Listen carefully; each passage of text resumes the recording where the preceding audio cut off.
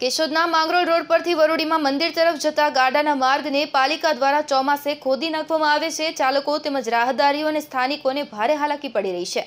કેશોદના Mangrol road પરથી વરુડીમાં મંદિર તરફ જતા ગાડા માર્ગને પાલિકા દર ચોમાસે ખોદી નાખે છે. આ વખતે પણ રસ્તાને જેમ તેમ ખોદી નાખ્યું, વરસાદના પાણીનો ભરાવો થવા લાગ્યો. રસ્તા પર જે જગ્યાએથી લોકોની અવરજવર હોય છે, તે જ જગ્યાએ પાલિકાએ નાળા નાખી, ચીકણી માટી નાખી દેતા રસ્તો કાદવ કીચડવાળો બન્યો. આ અંગે રહીશોને પાલિકાના સદસ્યો સાથે વાત કરે તો હમણાં ટ્રેક્ટર મોરમ નાખવામાં આવશે તેવું કહીને આઠ દિવસથી પાલિકા બનાવટ કરી રહ્યું છે તેવું રહીશો જણાવી રહ્યા છે. આસપાસની ત્રણથી વધારે સોસાયટીના લોકોએ વોર્ડ નંબર એક અને છના સદસ્યો સામે રોષ ઠાલવ્યો છે.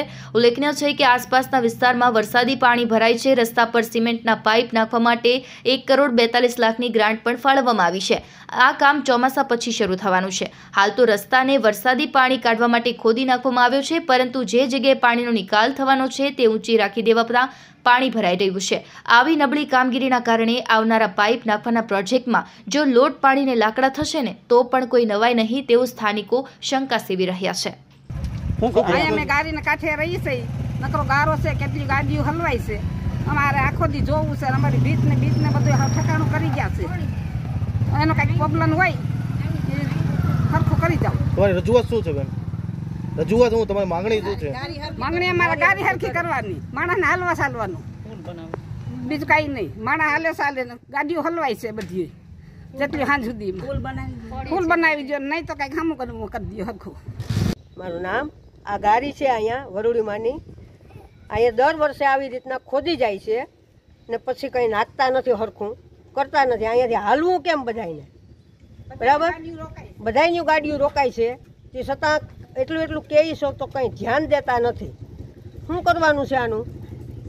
નામ અર્જુનભાઈ મોહનભાઈ પાગડાર હું અહીંયા દીપાલી નગરમાં રહું છું.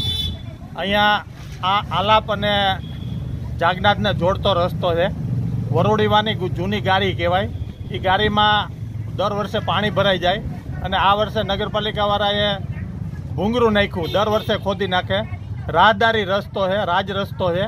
આજુબાજુના વિસ્તારવાળા ને બધા હેરાન થાય છે, કાદવ કીચડ થાય છે. આજે મારી ગાડી લઈને હું નીકળો, તો પણ ગાડી પણ ફસાઈ ગઈ.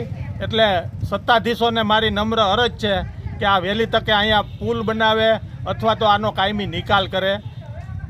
આ કાયમનો પ્રશ્ન છે, એટલે લોકોની પીડા સમજો. Vanraj Chauhan GTV news, Junagadh.